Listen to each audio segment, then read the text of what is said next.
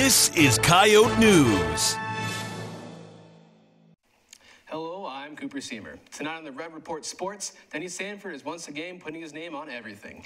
And I'm Cecilia Gillen. We'll get to that story and more. But first, As the first week of early signing period comes to end, there were 58 signees committed to the Coyotes. But there was one notable recruit who was unfortunately unable to sign with the team. Self-proclaimed senior James Aboot was ready to commit until several red flags came up in the recruiting process. Upon finding his listed education as definitely not the University of South Dakota, the recruit actually turned out to be former USD President James Abbott. Abbott says following his cover being blown, quote, I just miss USD so much, I had to find a way to get back in, unquote. The Summit League release this week admits officials made a statistical error during a Coyote volleyball game earlier in the season.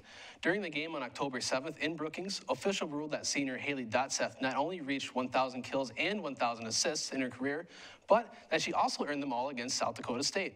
Upon being brought to the league's attention, they responded by looking at the Jackrabbits record and saying, quote, sounds about right, unquote. USD Athletics released a statement today giving the real reason for the upcoming dome renovations. Athletic Director David Herbster says there will need to be more seats for an influx of former Nebraska fans that will likely flood the dome after giving up on the t- 4 and 8 team following yet another disappointing season.